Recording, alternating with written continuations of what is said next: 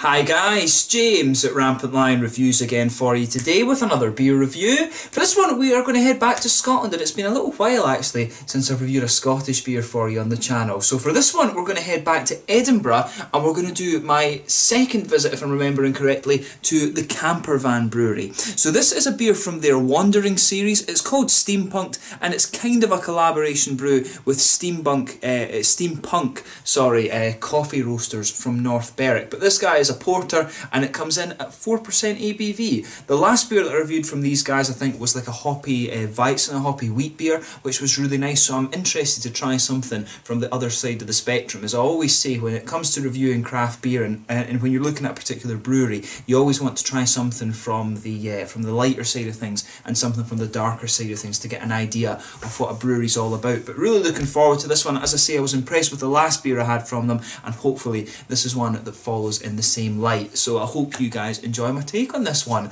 So anyway, as is usual with my reviews then, I'll tell you a little bit about the brewery. If you want to get straight to the tasting, of course, just fast forward. All the usual links are in the description below. That's the brewery website link, my other reviews that I've done from Campervan Brewery before. Hopefully I can do some more in the fairly near future. There's all the usual social media. If you want to see more beer reviews, do please consider subscribing to the channel. The whole channel, of course, has a geography-based tagging system, so you can go into the homepage and search for beer based on country, city, state, state, prefecture, county, whatever it is you're interested in. Do check out the playlist of beers from different countries. There is one there for all the Scottish beers I've reviewed for you. That's constantly being added to. And as always, please do get in touch and let me know some other beers and breweries that you guys would like to see me review. It's always great to hear from you guys that are watching the videos and the support that you show the channel is hugely appreciated.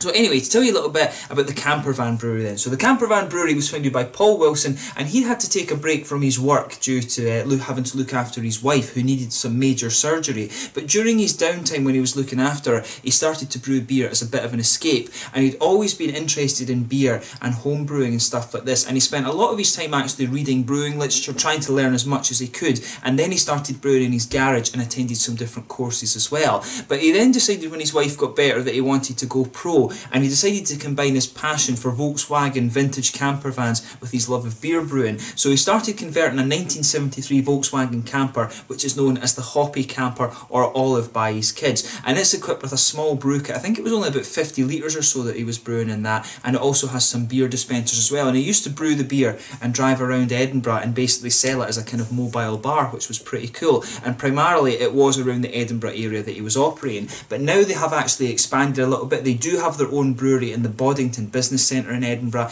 and it has its own tap room as well. And they seem to be quite prolific these days. There's a few, if you look at their Facebook page, there's a few beers. All, they're always posting pictures of their beer board at the tap room, and uh, they're saying, "Oh, brewery exclusive beer." So I'm guessing that those are the ones that are still brewed uh, on the very very small batch. But they do have a couple of beers that seem to be core range these days, and they have scaled up a little bit. And I'm quite glad that they've done that because, as I say, the last beer that I had from them, I was really impressed with. So that whole thing about the camper van, it is a bit of a novelty, but at the same time, you know, you are limiting yourself in terms of capacity when you do something like that.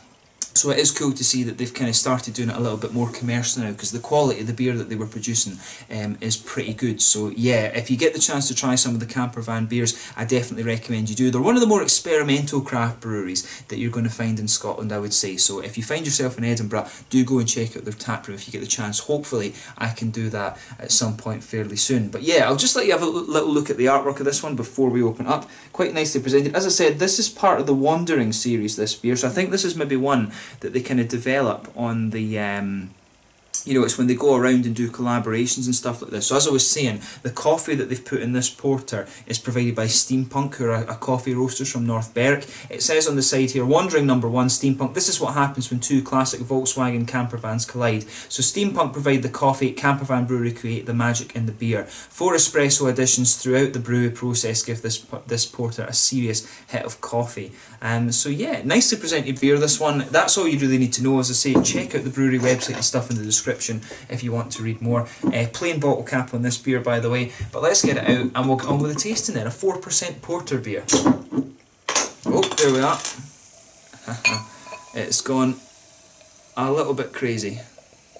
So yeah, let's just get it out and we'll get it into the glass then. We'll just pour it slowly and let it settle.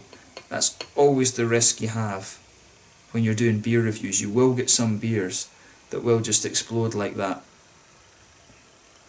So yeah.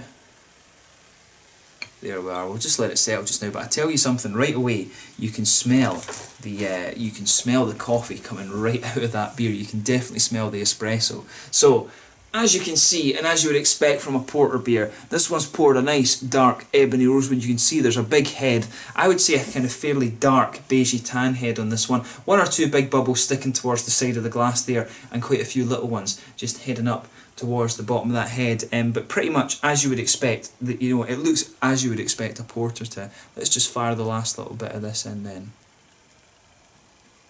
and we should be okay. But yeah, you can really smell some of these nice kind of coffee notes coming out of this beer. So yeah, let's take a closer look at the aroma then and just see how we get on with this one.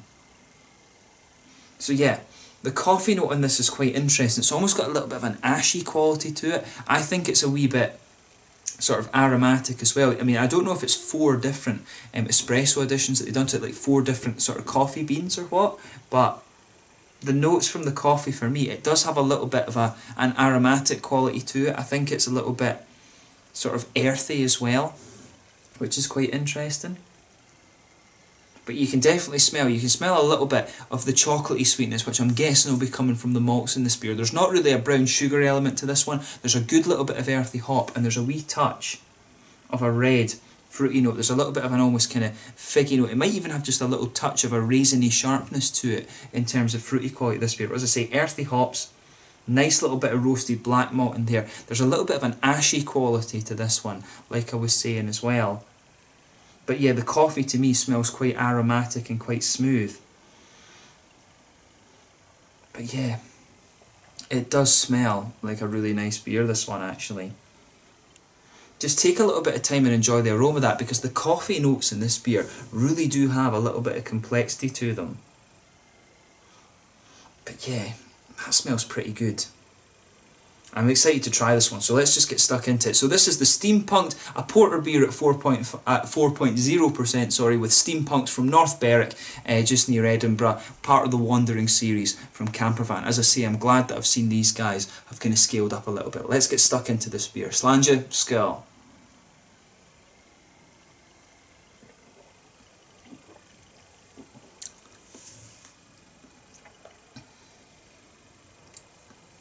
Yeah, that's a pretty nice beer, this one, I have to say that.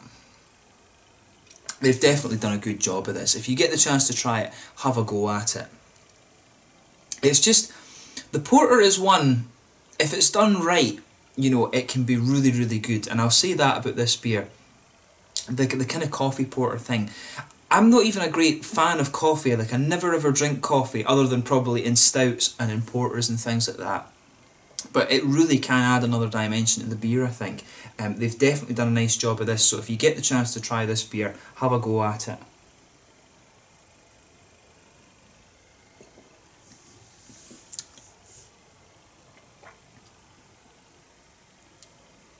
But yeah, that is pretty nice.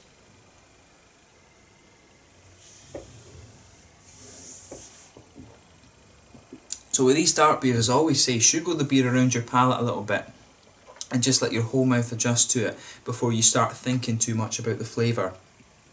But I'll tell you something, the coffee and the smoothness from the coffee of this beer really takes over the flavour and it's, it's just nice how everything goes together.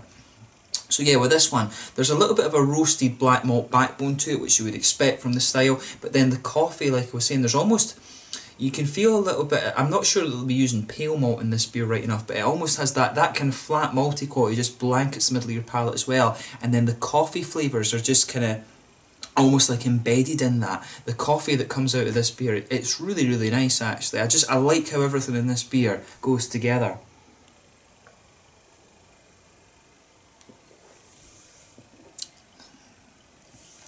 But yeah, it really is good that. So yeah, the coffee notes for me, it's a lot smoother and it's not quite as aromatic and stuff as I was thinking it would be from the aroma. definitely, the coffee notes in this beer definitely smell a little bit more aromatic than they come across. To me, it's just a really nice, smooth.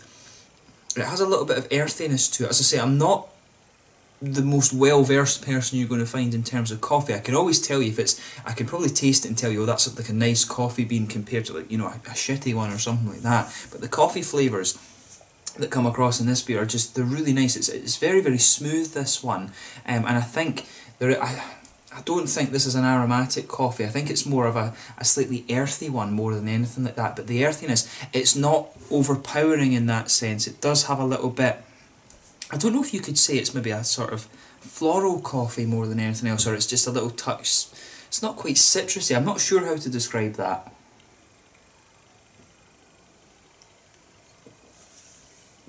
All I can tell you is that the way the coffee flavours come across in this is quite nice. It's almost just got a little bit of sweetness to it as well, which is quite nice. I think there's definitely a little bit of a chocolatey presence to this beer as well, but all of that's happening in the middle of the malt base. As I say, there's that sort of flat malty quality to this beer, and then it's almost like the coffee is just um, embedded inside it, which is really nice. In the back corners of the palate, there's a little bit of earthiness there. You can feel that smooth earthiness just spreading forward along the sides of your tongue and then round the front curve of the palate. There's just a little bit of a kind of lighter, um, grassy note to this beer as well.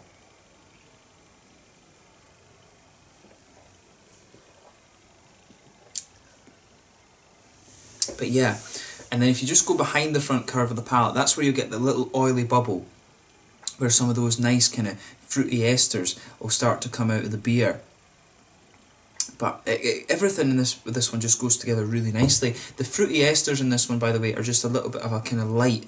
Um, it's just a little bit of a slightly light candied fruit. It's just got a little touch of that red fruit quality. It's almost like those little heart-shaped sweets that I always talk about from the Haribo Star Mix. It's just got that kind of flavour to it, which is really nice. But as I say, this beer, it's not too punchy in any one regard. I mean, the, the coffee flavour does dominate the flavour, but it's not, you know, really in your face, if you like. It, this beer is just all about how these flavours blend together and it's just it's really well done. That's what I like. If a porter can kind of achieve that I'm, I'm more of a stout fan than a porter I would have to admit than a porter fan I would have to say.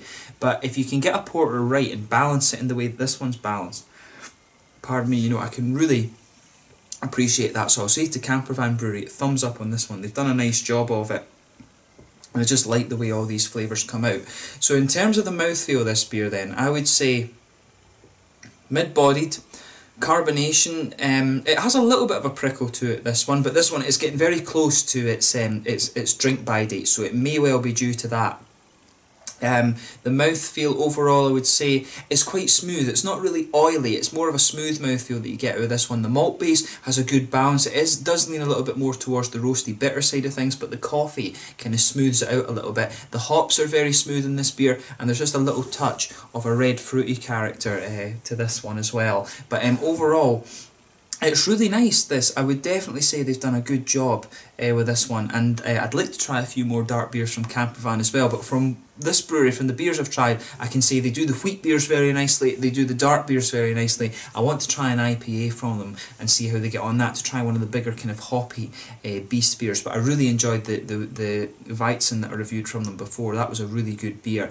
But um, I would say overall from what I've had from what I've had and from what people have told me, Campervan are just a really, really solid brewery, and they're definitely one of the ones that I'd recommend you check out when it comes to Scottish beer. But their beers are a little bit hard to get. It's not that often that you'll find the bottles of them, although I think that's going to get better over the next little while. But let's leave it at that. So the the steampunked porter beer from the Wandering series Campervan, I really recommend you try this. If you like coffee, I think you're definitely going to enjoy this beer. Um, but once again, thank you for watching my beer reviews. Until the next time, please like, subscribe, share, all the usual YouTube stuff. Let me know your own thoughts on this one in the comment section below. Let me know what your favourite beers are from the Campervan Brewery as well, and do let me know some other ones that I should be checking out. There's a lot of new breweries popping up in Scotland these days, and a lot of them are doing some really really nice stuff. So until the next time slàinte just now and I will catch you guys very soon. The steampunked porter from the Campervan Brewery in Edinburgh. Make sure you check them out. Check out my social media and all that and I will catch you guys very soon. Slàinte just now